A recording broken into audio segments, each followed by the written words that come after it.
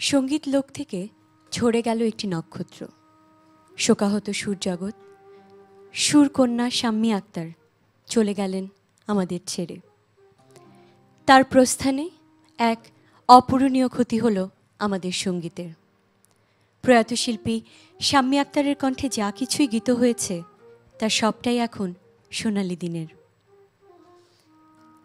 তার সব গান নিয়ে আজ আমাদের শরীফ মেলামাইন সোনালি দিনের গান। স্টুডিওতে উপস্থিত আছে চ্যানেলাই সেরা কণ্ঠের চম্পা বণিক। উপস্থিত আছে চ্যানেলাই খুদে গানরাজের প্রান্তি এবং বিশেষ অতিথি হিসেবে উপস্থিত আছেন শাম্মী আক্তার এবং তার পরিবারের অতি নিকটজন আমাদের সকলের প্রিয় সংগীত শিল্পী মোহাম্মদ খুরশিদ আলম। সাদর আমন্ত্রণ। এবং আজকের এই দিনটিকে আমরা প্রয়াত শিল্পী শাম্মী আক্তারকে উৎসর্গ করছি আমাদের আজকের এই শরীফ মেলামাইন সোনালি দিনের গানে। শুরুতেই স্যার, আপনার কাছে কিছু জানতে চাইব স্বামী আক্তারকে নিয়ে।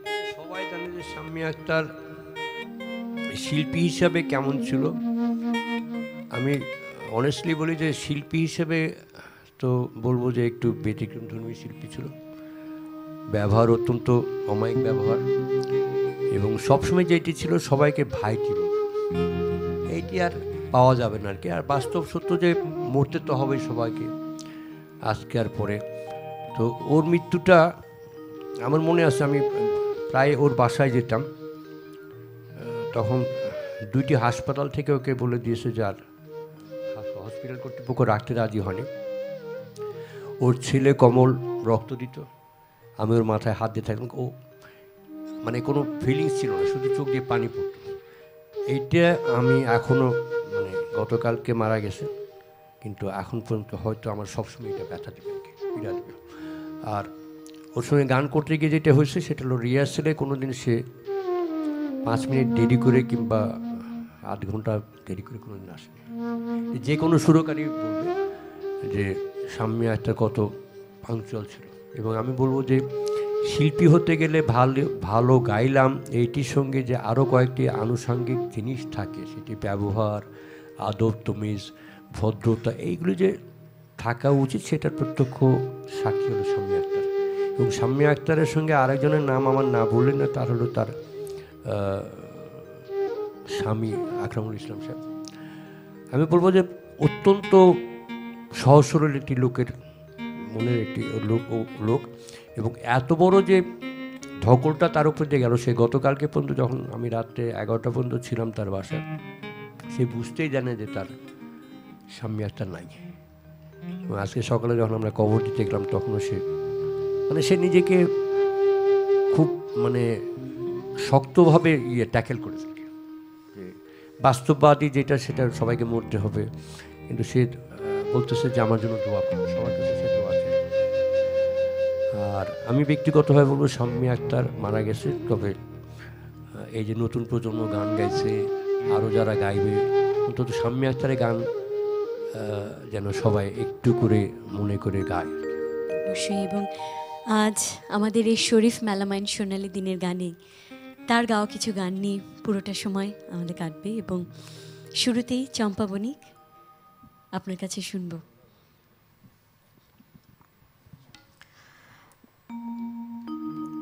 জানি না কেমন হবে গান, তবে আমি যখনই ওনার গান শুনছি, শুধু কান্না আসছে আসলে, এই গান নিয়ে ওনার সাথে আমার একটা স্মৃতি আছে।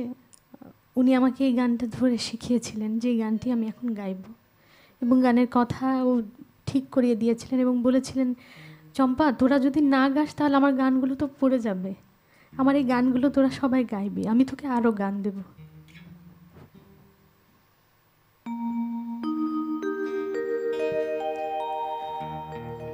মনে হয় হাজার বছর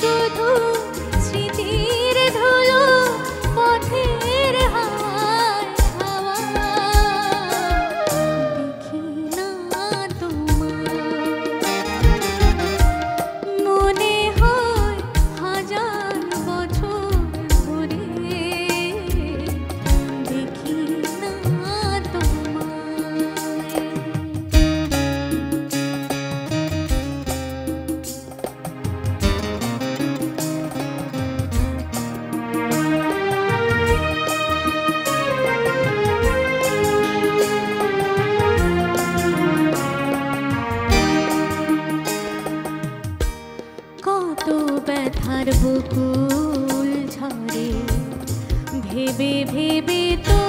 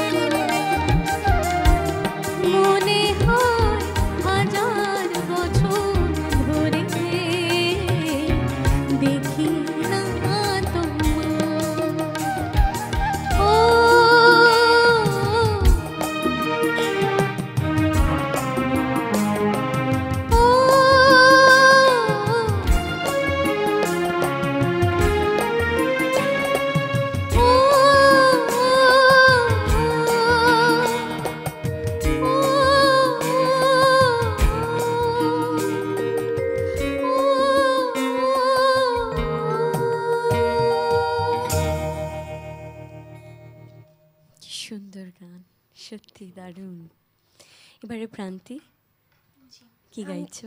আমি গাইবো এই বাংলার মাটিতে। ভীষণ জনপ্রিয় একটি গান শুনব।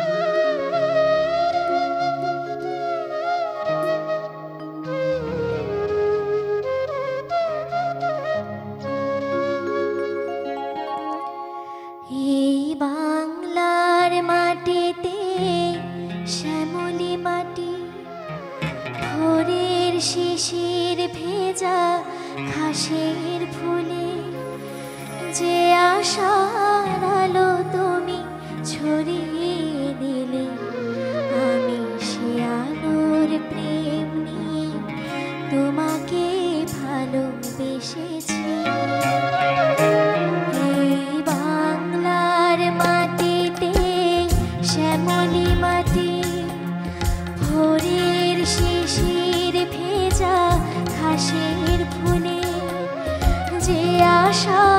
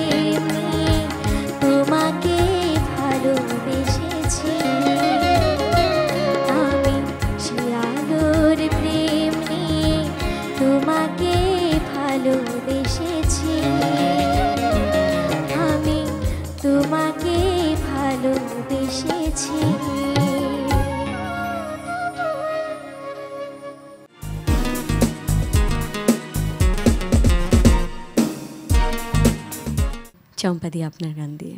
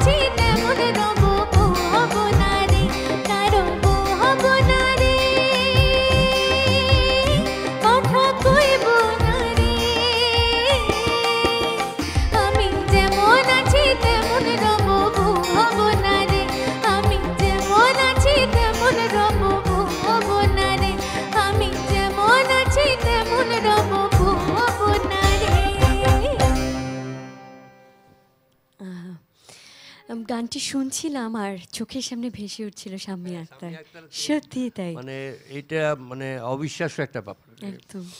তো আমি বলব এটা ছায়াছবির গান। গীতিকার ছিলেন আপনার আহ, গাজীমাল সাহেব এবং সুরকার আমাদের অত্যন্ত গুণী এবং অত্যন্ত জনপ্রিয় একজন সুরকার প্রয়াত সত্য সাহা। আর শাম্মী আক্তার একটু এক্সেপশনাল শিল্পী ছিল। গান প্রচুর গান গেয়েছে প্রায় আড়াইশো তিনশো গান গেয়েছে। এবং প্রত্যেকটি গান ওর ওর গায়কী স্টাইলটাই আলাদা ছিল। একদম একদমই তাই। এবং হয়তো শাম্মী আক্তার আমাদের মাঝে আর এভাবে হয়তো ফিরে আসবেন না। তবে গানের মাঝে তিনি বেঁচে থাকবেন। স্মৃতির মাঝে আমাদের সব সময় বেঁচে থাকবেন। আজ আমাদের আয়োজনটি শেষ করতে হচ্ছে। আমরা আয়োজনের শেষ প্রান্তে প্রান্তির কণ্ঠে শুনব। আমাদের প্রয়াত শিল্পী স্বামী আক্তারের গান, অতি জনপ্রিয় একটি গান এবং এই গানের মাঝ গান দিয়ে আজকের আয়োজন শেষ করতে হচ্ছে। তবে আরও একবার অসংখ্য ধন্যবাদ আপনাদেরকে এবং সময় দেওয়ার জন্য এবং সেই সাথে আমার দর্শকদের খুব ভালো থাকবেন। প্রান্তি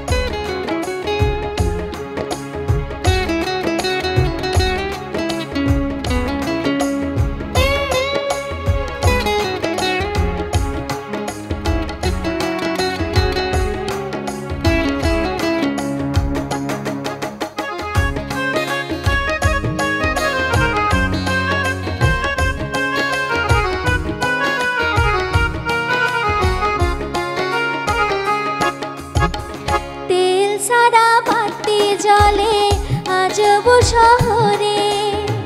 মাটি ফাটা বৃষ্টির পানি ছড়ছড়াইয়া পড়ে রে ছড়ছড়াইয়া পরে।